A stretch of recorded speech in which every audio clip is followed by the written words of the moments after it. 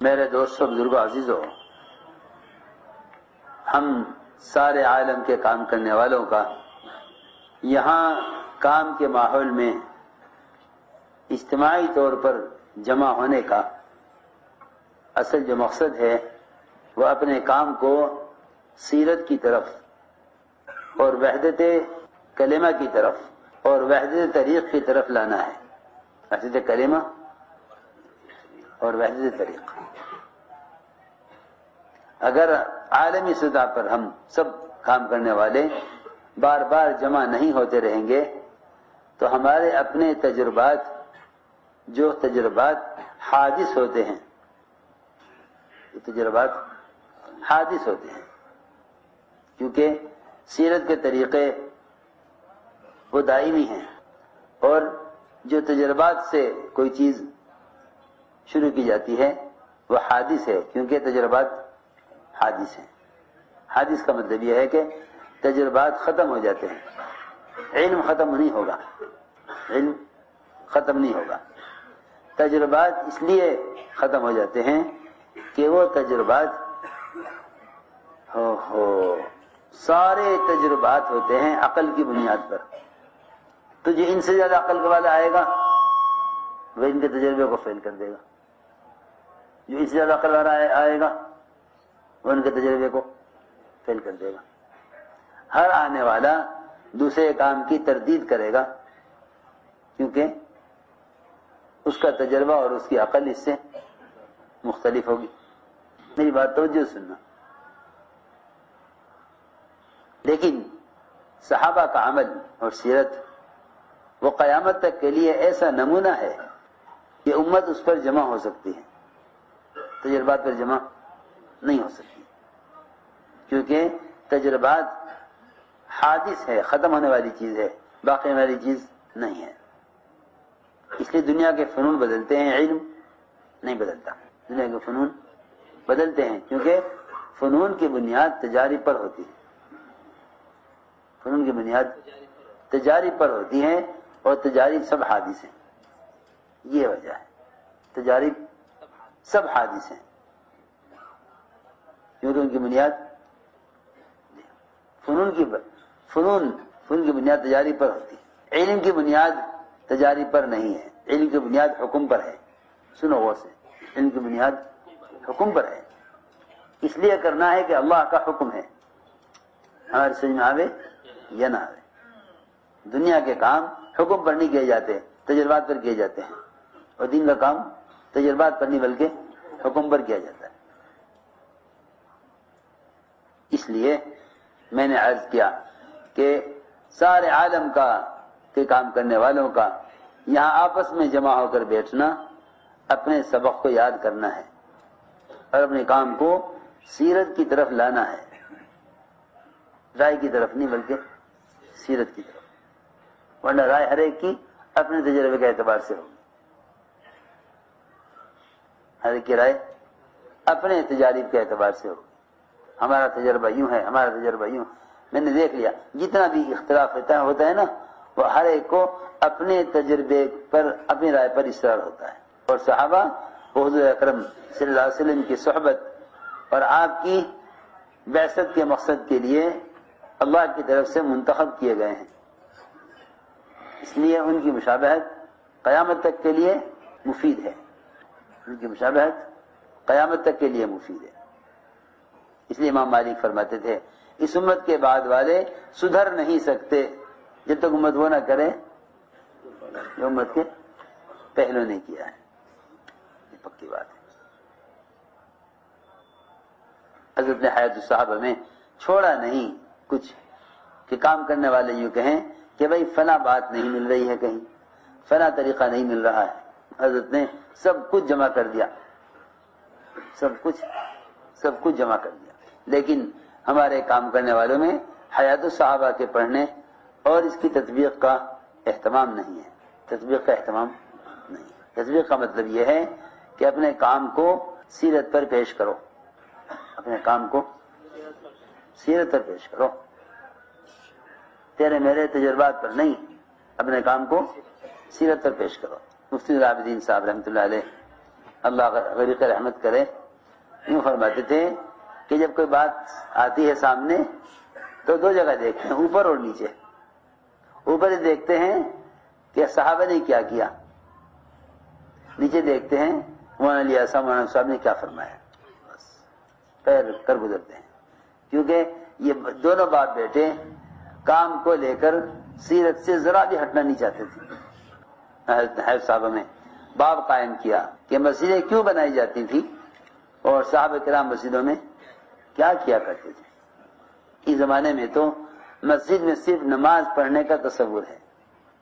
یہی نماز کے کی جہالت اور نماز کے نقصان کا سبب ہے۔ یہی نماز کی جہالت اور نماز کے نماز کے ناقص ہونے کا سبب ہے۔ یہ مسجد صرف نماز کے لیے سمجھی جاتی ہے۔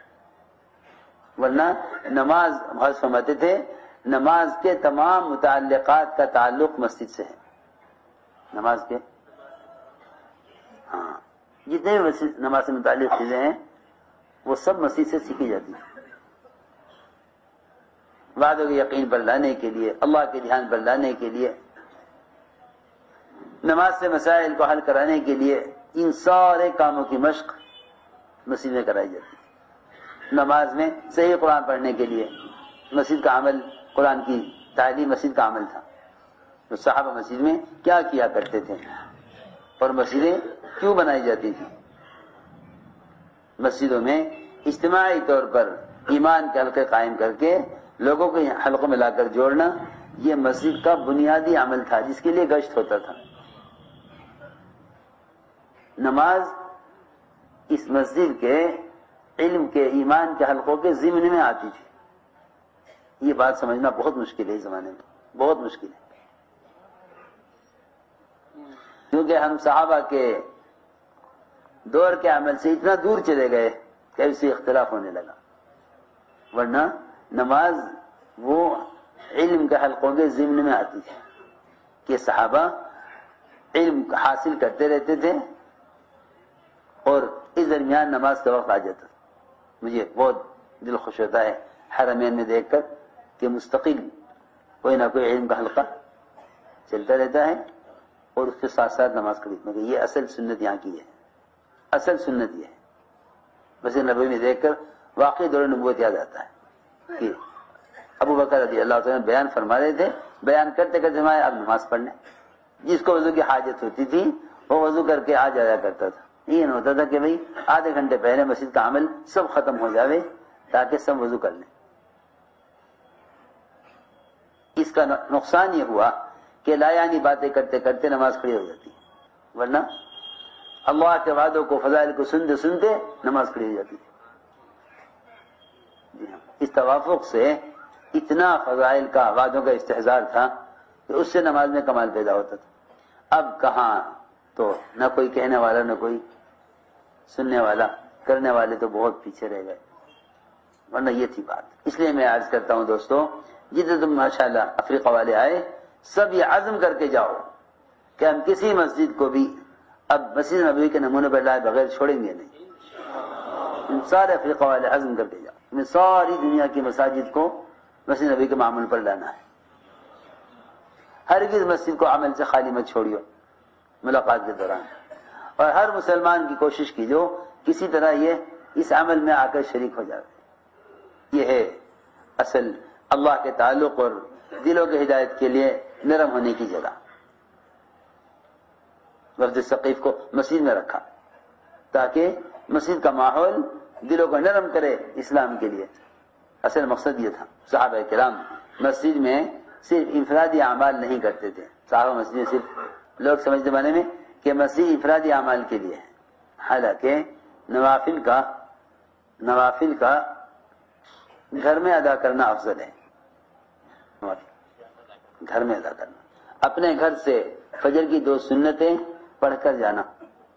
گھر میں پڑھنا افضل ہے۔ گھر میں پڑھ کر جاؤ۔ مسجد کے جو اجتماعی اعمال تھے، ان میں نماز اور علم کے اور قرآن کے تصحیح کے حلقے تھے۔ یہ مسجد کا عمل تھا۔ جس سے نماز میں کمال پیدا ہوتا تھا۔ تو صرف مسجد میں انفرادی اعمال ہی نہیں بلکہ مسجد کے وہ اجتماعی اعمال تھے جن اجتماعی اعمال سے تربیت ہوا کرتی تھی۔ سمجھتے تھے، سارے اخلاق اور معاملات کی تعلیم اور سارے معاشرے کی تعلیم وہ سب مسجد سے دی جاتی تھی۔ صحابہ کرام مسجد میں کیا کیا کرتے تھے؟ اور مسجد میں اللہ کے ذکر سے کیا مراد ہے؟ مسجد میں اللہ کے ذکر سے کیا مراد ہے؟ اس میں کوئی شک نہیں کہ مسجد میں اللہ کا ذکر بھی کریں انفرادی۔ لیکن جو ذکر کے حلقے ہیں، اس سے اللہ تعالیٰ کی قدرت، اس کی بڑائی اور اس کے احکام اور جنت دوزخ کے تذکرے مراد ہیں۔ یہ ہے وہ۔ جسے ہم کہتے ہیں، بھائی، مسجد میں ایک آدمی آنے والوں کو دعوت دے، باقی ساتھی ملاقات کر کے لوگوں کو یہاں لا کر جو ہے یہ سب عزم کر کے جاؤ کہ انشاءاللہ اپنی مسجدوں کا ہم اس معمول پر لانا ہے۔ جب تک ہمارا مزاج نہیں بنے گا مسجد کے ماحول میں بات سمجھانے کا، اس وقت تک بات دلوں میں اترے گی نہیں۔ کانوں سے گزر کے رہ جاوے گی۔ حالانکہ حضرت حضرت عمر رضی اللہ تعالیٰ، معاذ بن جبل، ابو حریرہ عبداللہ بن رواحہ، یہ سب خوشامد کر کر کے صحابہ کو مسجد میں جمع کرتے تھے۔ میرا پر ایمان لے آویں، آؤ میرا پر ایمان لے آویں، آؤ میرا پر ایمان لے آویں۔ علامہ نبی فرماتے ہیں، اس ایمان کے حلقوں سے اللہ کے احکام اور آخرت اور جنت در وقت تذکرے مراد ہیں علامہ نبی یہ فرماتے ہیں۔ ابو سید خدری فرماتے ہیں کہ معاویہ رضی اللہ نکلے۔ مسجد میں حلقے کی طرف حلقہ لگا ہوا تھا۔ پوچھا، کیوں بیٹھے ہو؟ ان لوگوں نے کہا کہ ہم اللہ کے تذکرے کر رہے ہیں۔ اللہ کے اللہ کے تذکرے کر رہے ہیں۔ فرمایا کیا خدا کی قسم اس لیے بیٹھے ہو؟ لوگوں نے کہا ہاں اس لیے بیٹھے ہیں۔ حضرت معاویہ نے فرمایا میں نے قسم کھلوائی ہے۔ تم پر کسی تہمت کی وجہ سے نہیں، بلکہ رسول اللہ صلی اللہ علیہ وسلم اپنے صحابہ کے حلقے کی طرف نکلے۔ ہم حلقہ لگا کر بیٹھے ہوئے تھے۔ آپ نے پوچھا، کیوں بیٹھے ہو؟ ہم نے کہا، ہم اللہ کے تذکرے کر رہے ہیں اور اللہ کی تعریف اور شکر کر رہے ہیں کہ اس نے ہمیں اسلام کی ہدایت دے کر ہم پر احسان کیا۔ تو فرمایا، حضور اکرم صلی اللہ علیہ وسلم نے، کیا خدا کی قسم اسی لیے بیٹھے ہو؟ صحابہ نے عرض کیا صحابہ نے عرض کیا کہ ہاں اسی لیے بیٹھے ہیں۔ آپ نے فرمایا، میں نے تم سے جو قسم کھلوائی ہے، تو بس کسی تہمت کی وجہ سے نہیں۔ لیکن بات یہ ہے کہ جبرائیل میرے پاس آئے انہوں نے مجھے خبر دی ہے کہ ان کے مسجد میں جمع ہونے پر اللہ تعالی فرشتوں کے سامنے فخر فرما رہے ہیں۔ ایک روایت میں ہے کہ آپ نے فرمایا، تمہارے مسجد میں جمع ہو کر بیٹھنے سے آج اللہ نے آسمان کا وہ دروازہ کھولا ہے جب سے پہلے کبھی نہیں کھولا۔ کاش وہ دروازہ میں تمہیں دکھلا دیتا۔ کہ تم یقین کر لیتے۔ ابو واقع حارث بن عوف کہتے ہیں کہ رسول اللہ صلی اللہ علیہ وسلم بیٹھے ہوئے تھے مسجد میں۔ لوگ آپ کے ساتھ تھے۔ اچانک تین آدمی آئے۔ دیکھو، اس بات کو یاد رکھو کہ ہماری مسجد کی تعلیم محلے والوں کی طبیعت کے تابع نہیں ہے بلکہ یہ مسجد کا اس طرح عمل ہے، اس طرح نماز مسجد کا عمل ہے۔ یہ عمل پورا ہونا چاہیے۔ جس کو جتنے رغبت ہوگی، بیٹھے۔ اس لیے مسجد محلے والوں کی چاہت کے تابع نہیں ہے مسجد تو مسجد کا، تعلیم تو مسجد کا عمل ہے۔ اس میں ہر قسم کے لوگ آئیں گے۔ حلقہ میں جڑ کر بیٹھنے والے بھی، تھوڑی دیر بیٹھنے والے بھی۔